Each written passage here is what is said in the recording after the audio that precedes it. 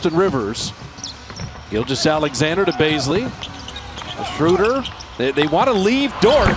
He's made two threes, but the Rockets still think he is the least of the weaponry out there.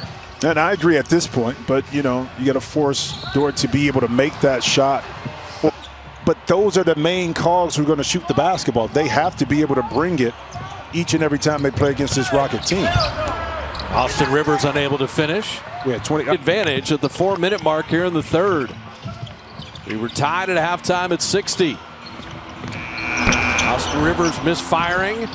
And the o'clock in the morning. And he said usually eh, with AAU, guys don't have a lot of energy. Open three up top.